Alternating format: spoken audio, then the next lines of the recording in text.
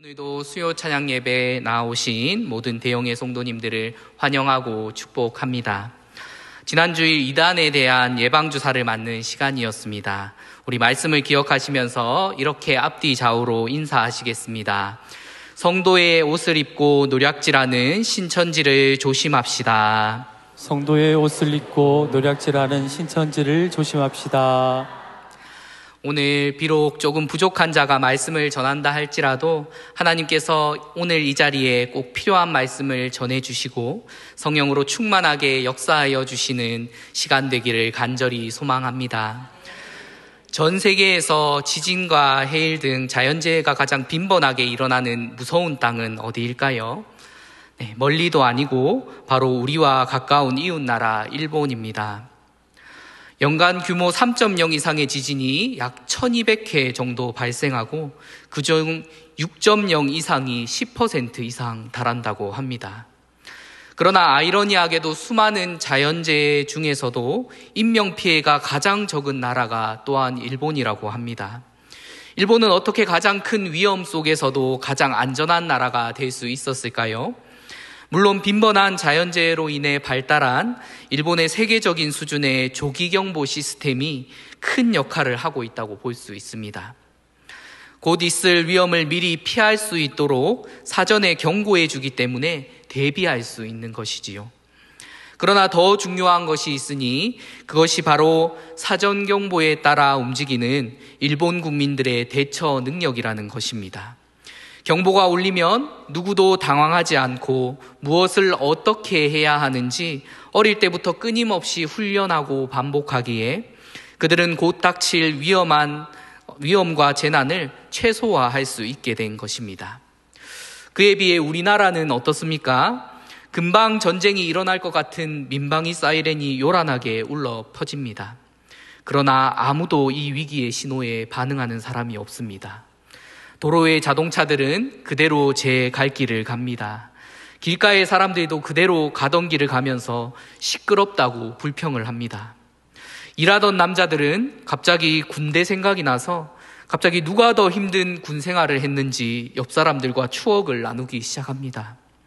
물론 실제가 아닌 정기적으로 늘 있어 왔던 훈련 상황이라 사이렌은 곧 잦아들고 평범한 일상이 돌아올 것입니다.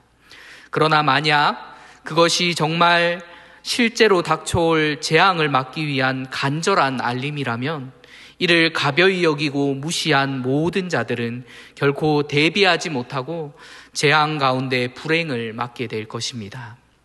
오늘 우리가 나눌 말씀은 이번 회복의 길 시리즈의 마지막이자 구약 성경을 매듭 지을 선지서 중에 가장 마지막 책인 말라기서입니다. 지금까지 계속하여 살펴본 선지서들의 전체 주제는 회개하고 돌이켜 하나님께 돌아오라.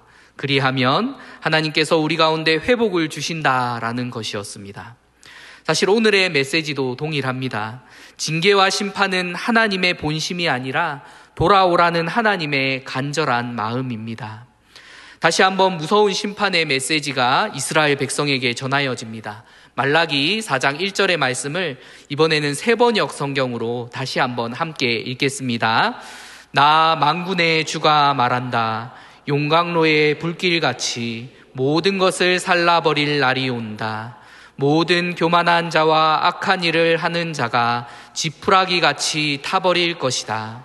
그날이 오면 불이 그들을 살라서 그 뿌리와 가지를 남김없이 태울 것이다. 그런데 하나님의 심판의 메시지를 들은 이스라엘의 반응이 놀랍습니다. 말라기서는 놀랍게도 이스라엘 백성들이 하나님과 무려 여섯 차례에 걸쳐 논쟁하였다는 것을 기록하고 있습니다. 주께서 어떻게 우리를 사랑하셨나이까? 우리가 어떻게 주의 이름을 멸시하였나이까? 우리가 어떻게 주를 더럽게 하였나이까? 우리가 어떻게 여호와를 괴로우시게 하였나? 우리가 어떻게 돌아가리이까? 우리가 어떻게 주의 것을 도둑질, 도적질 하였나이까? 하나님의 지적에 이스라엘 백성은 여섯 번 내내 어떻게 라고 답합니다. 즉, 자신들은 전혀 잘못한 것이 없고 억울하다는 것입니다. 교만이 그들의 영혼 깊숙이 스며들어 있었습니다.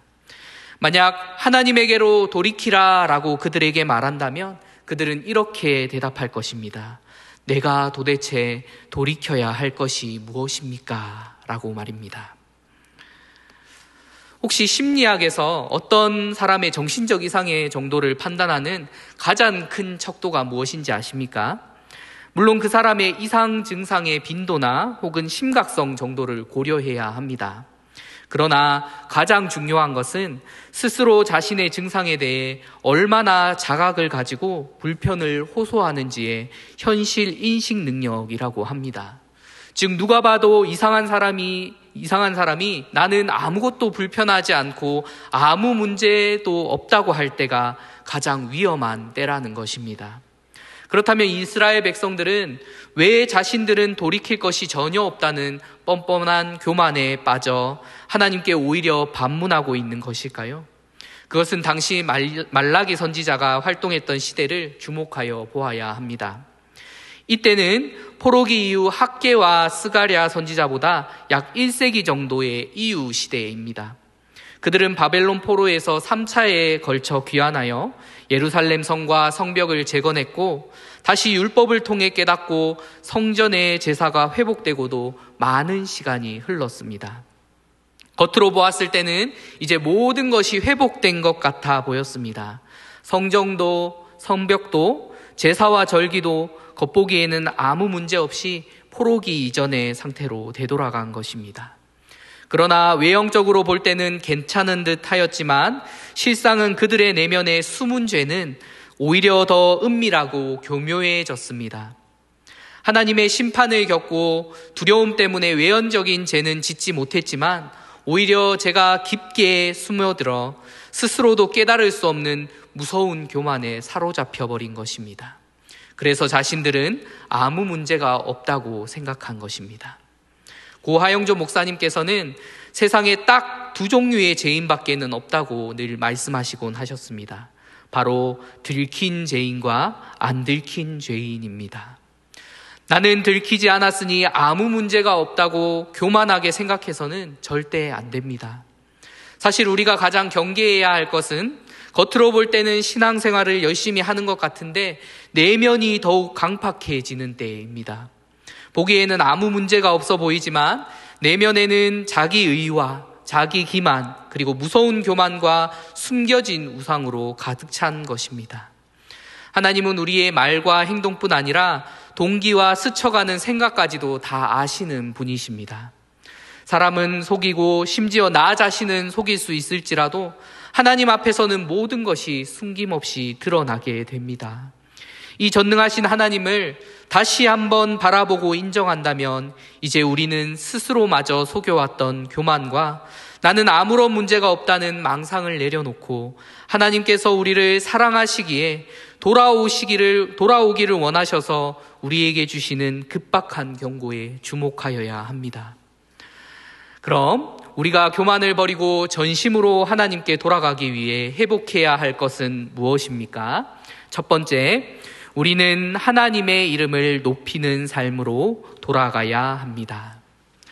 이스라엘 백성들은 마치 하나님이 이스라엘 국경에 안, 더 좁게는 예루살렘 성전 안에만 계시는 하나님이신 줄로 착각하고 살았습니다. 그저 예전처럼 정해진 제사를 드리는 것, 형식적으로 하나님께 기도하고 보이는 것이 하나님의 이름을 높이고 믿음 생활을 잘하는 것이라 여기며 마치 사람 앞에 보이듯 하나님 앞에 나아갔다는 것입니다. 그리고는 자신들은 마땅히 할 것을 다 하였는데 어떻게 우리가 하나님의 이름을 더럽혔냐고 반문합니다. 그러나 하나님은 그것을 기뻐 받으시지 않으셨습니다. 말라기 1장 6절의 말씀을 제가 읽어 드리겠습니다.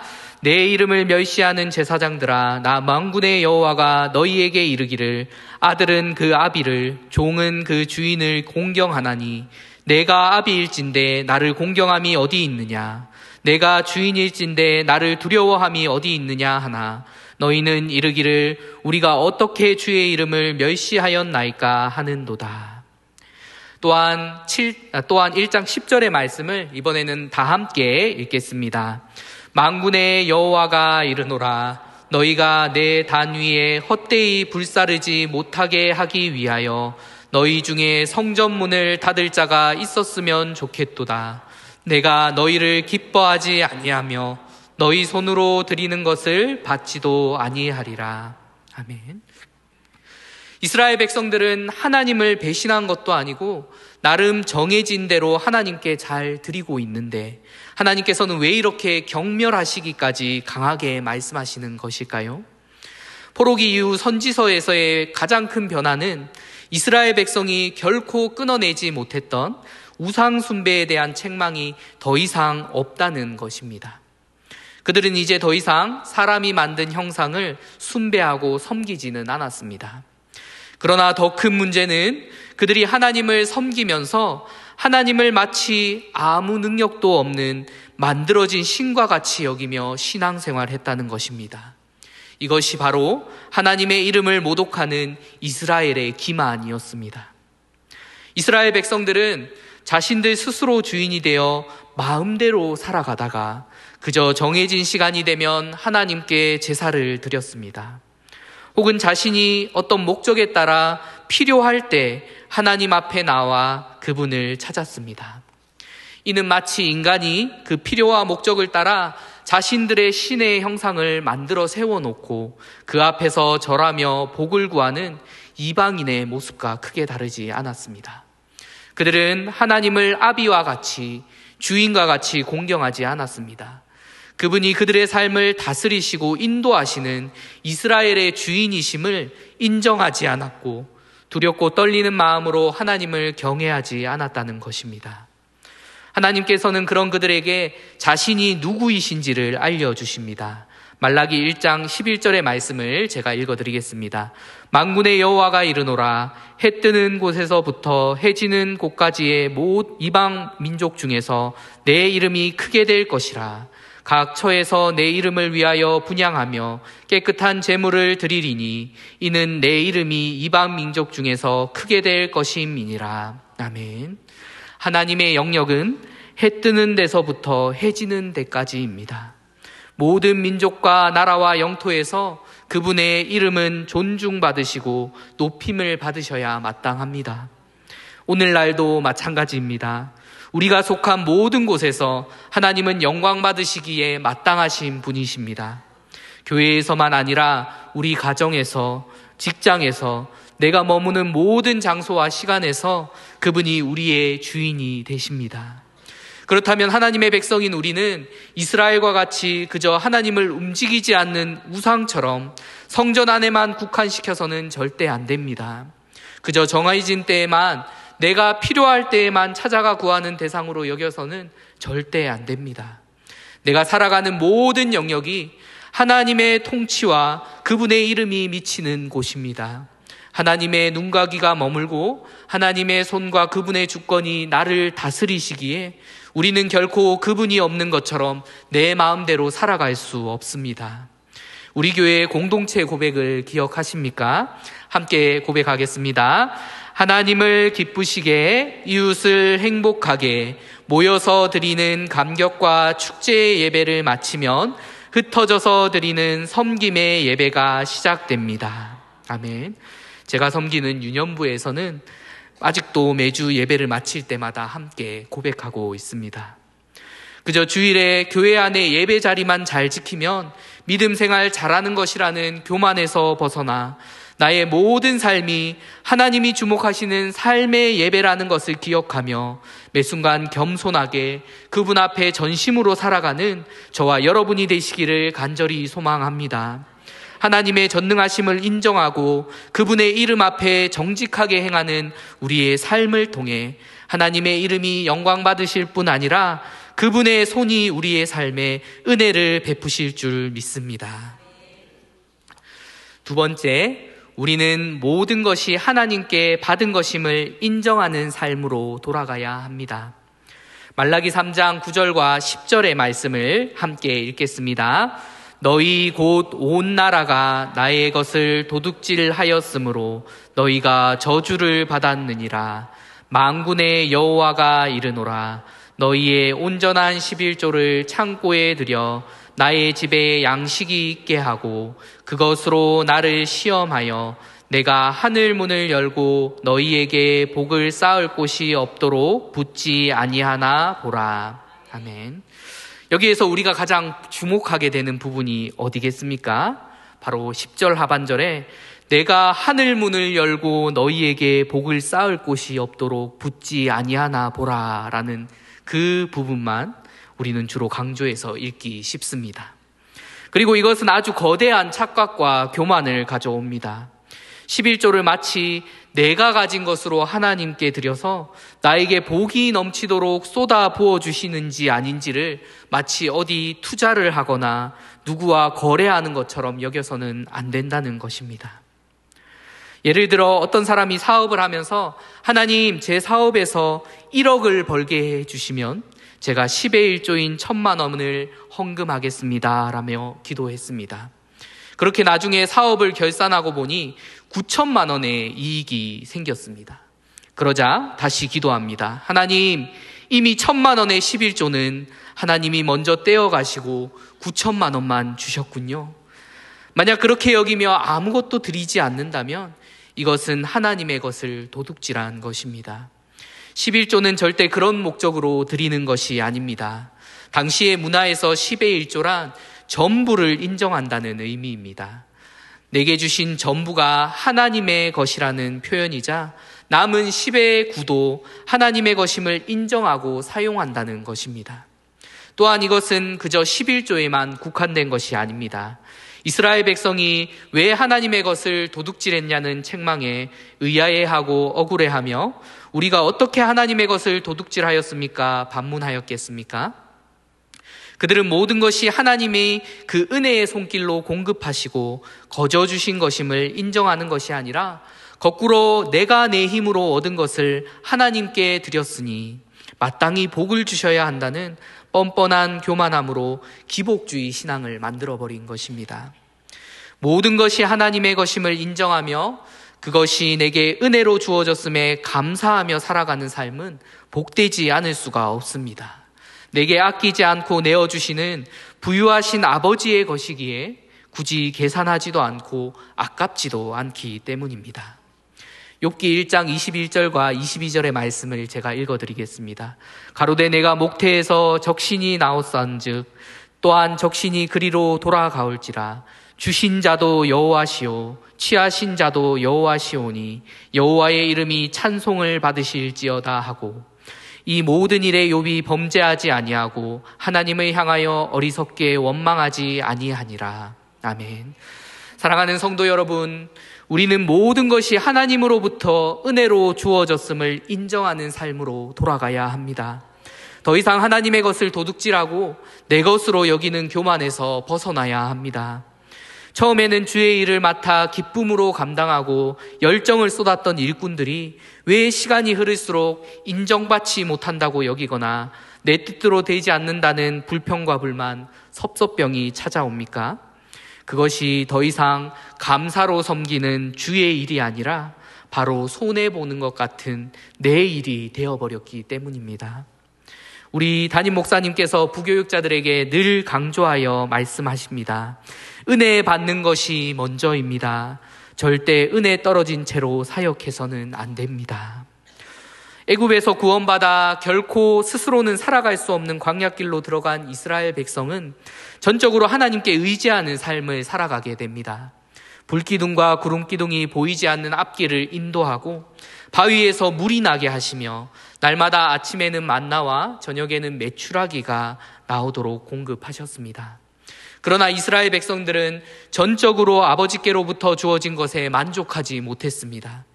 그들은 무엇이 부족하거나 환경이 나빠서 광야에서 망하고 죽은 것이 아니라 결국 스스로 불평불만하고 모세와 하나님을 대적하다가 한 명도 약속의 땅 가나안을 밟지 못하고 광야에서 죽어간 것입니다. 어쩌면 하나님께서 맡겨주신 일, 하나님께서 내게 주신 것임에 기뻐하고 감사하며 살아가는 삶 자체가 하나님이 우리에게 주신 복이자 선물이라고 할 수 있습니다. 많이 가졌으나 여전히 부족하다 여기는 삶보다 많지 않아도 거저봐졌다는 삶이 더 행복하기 때문입니다. 내 것이라 여기며 하나님의 것을 도둑질하는 교만에서 벗어나는 저와 여러분이 되시기를 바랍니다. 모든 것이 하나님께로부터 은혜로 우리에게 주어졌다는 은혜 의식을 가지고 살아갈 때 우리의 삶은 계속하여 하나님이 주시는 기적 가운데 회복되고 범사가 잘 되는 축복이 임할 줄 믿습니다. 함께 화면을 보면서 고백하겠습니다. 모든 것이 하나님의 은혜였고 하나님의 기적은 계속됩니다. 아멘. 우리가 교만을 버리고 전심으로 하나님께 돌아가기 위해 회복해야 할 것은 무엇입니까? 세 번째, 세상의 기준을 버리고 하나님의 말씀을 따라 사는 삶으로 돌아가야 합니다. 말라기 3장 14절과 15절의 말씀을 함께 읽겠습니다. 이는 너희가 말하기를 하나님을 섬기는 것이 헛되니 만군의 여호와 앞에 그 명령을 지키며 슬프게 행하는 것이 무엇이 유익하리요 지금 우리는 교만한 자가 복되다 하며 악을 행하는 자가 창성하며 하나님을 시험하는 자가 화를 면한다 하노라 함이리라 참으로 무서운 교만이자 도전입니다. 오히려 하나님에 대해 악하게 시험하고 있습니다.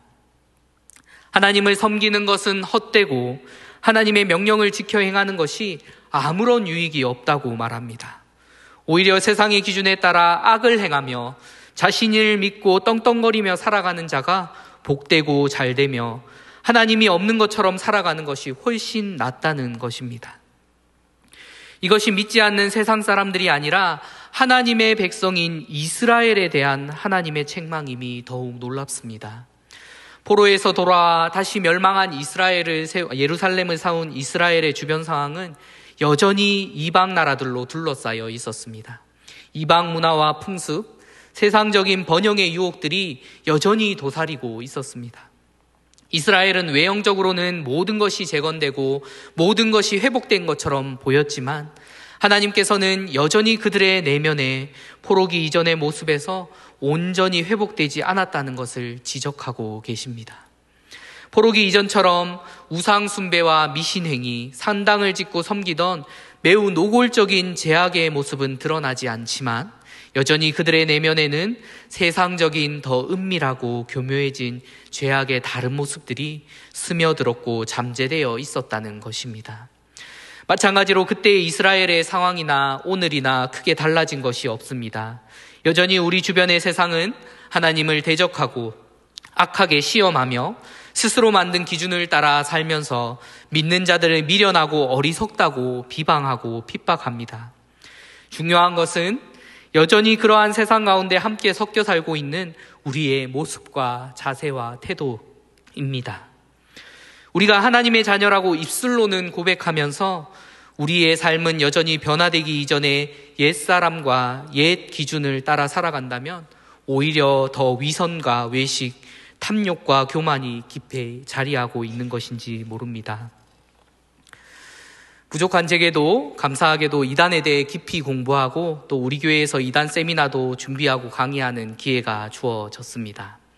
지난주에 조준희 목사님께서 도대체 누가 위패 감결사 이야기를 하면서 마치 누구나 진짜 지폐만 연구하면 위조 지폐를 다 구별해낼 수 있다는 걸 이단에 적용했냐고 강하게 말씀하셨지요. 고백합니다. 제가 이단 세미나에서 한번 또 말한 적이 있고요. 설교 때 예화로도 한번 사용했었습니다.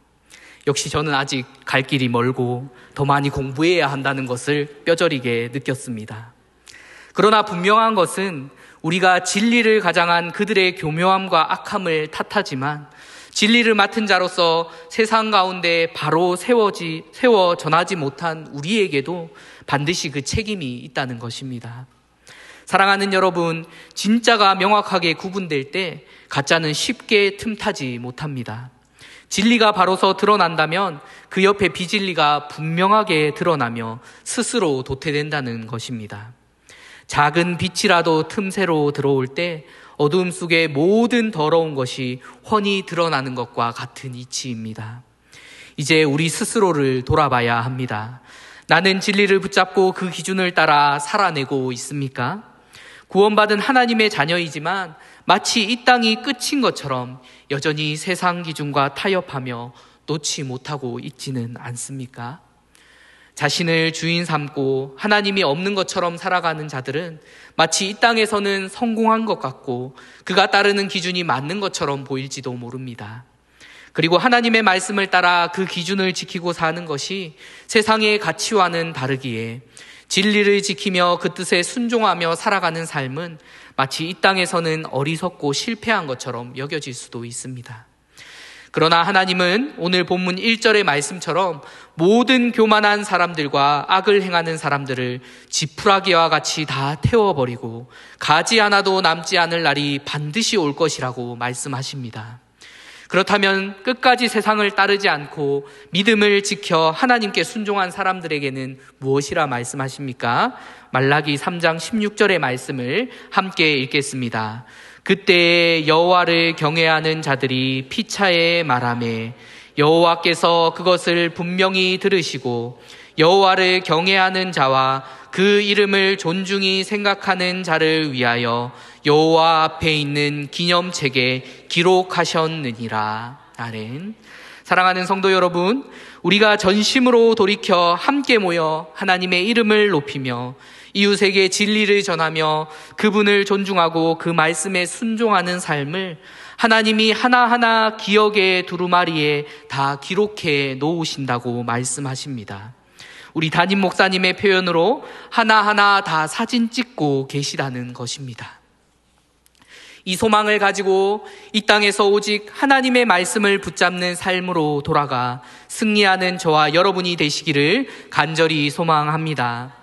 입술로만 아니라 겉모습만이 아니라 하나님의 자녀의 진실된 삶으로 세상과는 구별되어 하나님의 살아계심을 증명해내는 복된 주인공이 다 되시기를 축복합니다. 이제 말씀을 맺겠습니다.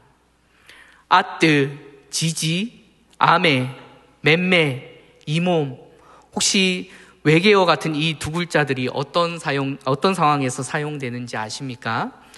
요즘 저희 가정에서 주로 급하게 많이 사용하는 말들입니다. 아마 어린 자녀를 키워보신 부모님이시라면 다 아시고 사용해 보셨을 것입니다.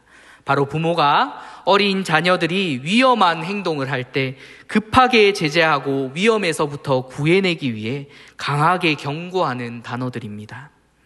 어린 자녀가 뜨거운 가스렌지에 손을 대려고 하는데 그것은 100도가 넘어 만진다면 바로 화상을 입을 수 있는 위험이 있으니 만지지 않았으면 좋겠어 라고 느긋하게 설명하고 있는 부모는 없습니다.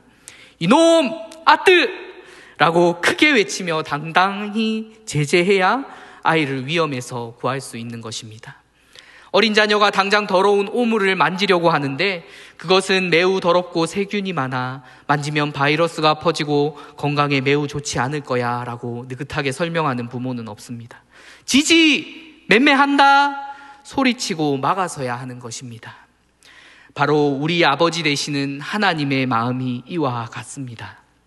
하나님은 우리를 심판하시기 위해 작정하고 몰아붙이시는 분이 결코 아닙니다. 우리가 결코 심판받지 않도록 돌이키게 하시려고 끊임없이 강하게 경고하시고 깨우시는 것입니다. 우리 마지막으로 오늘 본문 말라기 4장 2절의 말씀을 함께 읽겠습니다. 내 이름으로 경외하는 너희에게는 의로운 해가 떠올라서 치료하는 광선을 바라리니 너희가 나가서 외양간에서 나온 송아지 같이 뛰리라. 아멘. 하나님은 경고만 하시지 않고 돌이킬 수 있는 길을 열어주심으로 우리를 도와주시는 분이십니다.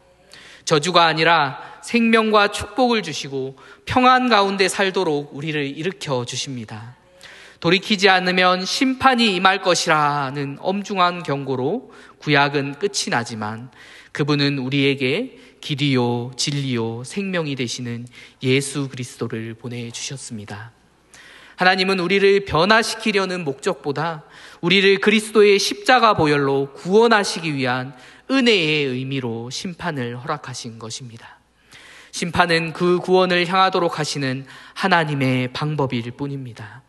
사랑하는 여러분, 죄악된 교만을 내려놓고 돌이켜 전심으로 돌아와야 합니다. 우리가 돌이켜 주님에게로 돌아올 때 놀라운 은혜가 임하고 하나님의 역사가 우리의 삶 속에 일하실 줄 믿습니다. 이런 주인공 되시는 저와 여러분이 되시기를 예수님의 이름으로 간절히 축복합니다. 아멘. 이 시간 들은 말씀을 기억하시면서 앞에 기도 제목을 함께 읽고 기도하시겠습니다. 교만을 버리고 돌이켜 전심으로 돌아오는 자에게 은혜를 베푸시고 축복하시는 하나님, 우리가 하나님의 이름을 높이는 삶을 살기를 원합니다. 모든 것이 하나님께로 받았음을 인정하는 삶을 살아내기를 원합니다. 진리의 말씀을 따라 사는 삶으로 영광 돌리기를 원합니다. 하나님의 역사가 우리의 삶 속에서 일하는 하나님의 자녀가 되도록 도와 주옵소서.